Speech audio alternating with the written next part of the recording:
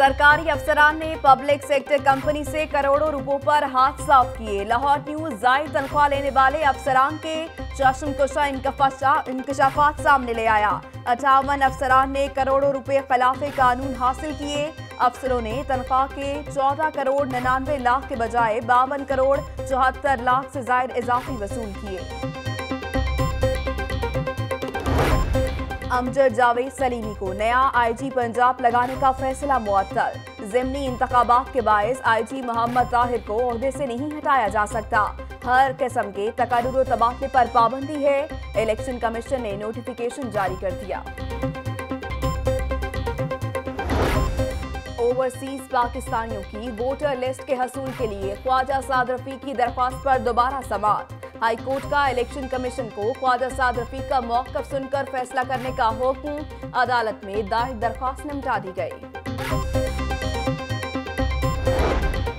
Dollar की ऊँची उड़ान, डॉलर की कीमत, मुल्क की तारीख की बुलंद तरीन सतह पर पहुँच गई।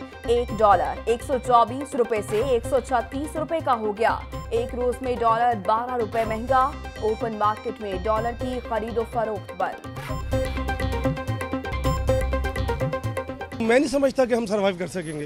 हालात पहले भी बहुत बुरे हो चुके हैं और मुझे लगता है कि ये डाउन जाते जाएँगे। इसका नेगेटिव असर आएगा 100 परसेंट और गवर्नमेंट को जो है इसके बारे में कोई सीरियस होकर कुछ सोचना पड़ेगा। हम तो इस फ्लक्चुएशन में फंसे हुए हैं कि जब माल मंगवाते हैं तो दाम कुछ देते हैं जब बेचने की बारी आती है तो पता चलता जी ये थोड़ा सा नीचे आ गया है। डॉलर महँगा होने से महँगाई का जन बेकाबू। आटा, दालों और सब्जियों के बाद डॉलर भी महँगा। मुर्गी के गोश्त में दो रोज में उन्नीस रुपए का इजाफा। बाज़ार में मुर्गी का गोश्त दो सौ तेरह रुपए किलो हो गया। पैसे दो, हिफाजती टीका लगवाओ। महकमा सेहत के मुलाजमीन बच्चों को हिफाजती टीके लगाने के लिए सरेआम पैसे लेने लगे। बंद रोड पर वैक्सीनेटर ने हिफाजती टीका लगाने के बाद पैसे वसूल किए। कैमरे की आँख ने भाला तोड़ दिया।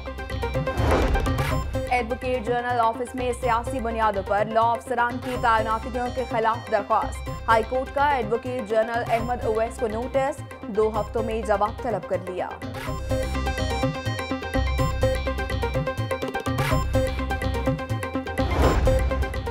आईएमएफ के पास जाने का फैसला मजबूरी में किया, लेकिन आम आदमी का ख्याल है। नून लीग हुकूमत के खिलाफ एहतजाज करेगी या इदारों के खिलाफ?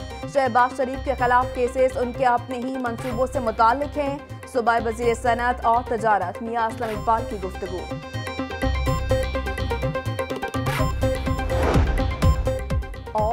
ऑल पाकिस्तान अंजुमन ताजरान के मरकजी सदर खालिद परवेज की वालदा की नमाज़ जनाजा M M Alam road Kulbagh अदा कर दी गई। नमाज़ जनाजा में अहम सियासी, समाजी और कारोबारी शख्सियात की बड़ी तादाद ने शिरकत की।